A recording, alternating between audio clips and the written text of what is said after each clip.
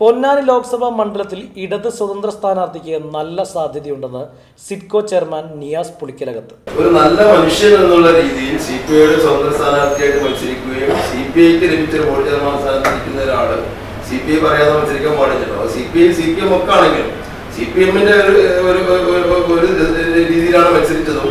ഇന്ന് vote chairman സ്ഥാനത്തിരിക്കുന്ന C P എമ്മിന്റെ പ്രതിനിധിയായിട്ടാണെങ്കിൽ സി പി എം പറയാതെ ഞാൻ മത്സരിക്കാൻ പാടില്ലല്ലോ സി പി ഐ പറഞ്ഞാൽ മത്സരിക്കാം അതാത് സമയത്ത് തീരുമാനിക്കേണ്ട കാര്യങ്ങളാണ്. ഞാൻ എന്തായാലും ഒരു നല്ലൊരു വ്യക്തിയാവണമെന്ന് ആഗ്രഹിക്കുന്ന ഒരു മനുഷ്യൻ. അതുകൊണ്ട് ആ മൂല്യം അല്ലെങ്കിൽ രാഷ്ട്രീയത്തിൽ അധികാരത്തിന് വേണ്ടി എന്തും കളിക്കുന്ന ഒരു രൂപത്തിലേക്ക് എന്തായാലും ഞാൻ ഉണ്ടാകാതെ തോന്നുന്നു. നല്ല സാധ്യത. പൊന്നാണി ഇടതുപക്ഷത്തിന് സാധ്യത എന്ന് മാത്രമല്ല പൊന്നാണി ഇടതുപക്ഷ ജനാധിപത്യ മുന്നണിക്ക് ഇപ്പോൾ സംഭവിക്കുന്ന ചില ഘടകങ്ങൾ കാര്യമായിട്ട് സ്വാധീനിച്ചിട്ടില്ലെങ്കിൽ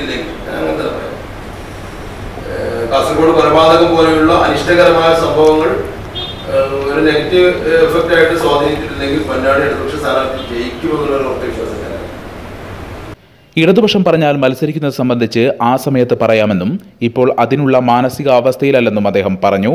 മത്സരിക്കാൻ തയ്യാറെടുത്ത് നടക്കുന്ന വ്യക്തിയല്ല. അടുത്ത തിരഞ്ഞെടുപ്പിൽ ഇടതുപക്ഷം മുന്നണിക്ക് വേണ്ടി പ്രവർത്തിക്കുന്ന വ്യക്തിയായിരിക്കും താൻ. സി പി ഐ എം മണ്ഡലമായതിനാൽ വയനാടുമായി വെച്ചുമാറുന്നതൊക്കെ ബന്ധപ്പെട്ട പാർട്ടി നേതൃത്വം തീരുമാനിക്കേണ്ടതാണെന്നും അദ്ദേഹം പറഞ്ഞു. മുൻ സർക്കാരിന്റെ കാലത്ത് സിഡ്കോയുമായി ബന്ധപ്പെട്ട അഴിമതി സംബന്ധിച്ച് വ്യവസായ മന്ത്രിക്കും ലീഗ് അനുകൂല ഉന്നത ഉദ്യോഗസ്ഥർക്കും അറിവുണ്ട്. മന്ത്രി ഓഫീസ് അറിയാതെ ഒന്നും ചെയ്യാൻ സിഡ്കോയിൽ കഴിയില്ലെന്നും എന്നും അദ്ദേഹം പറഞ്ഞു.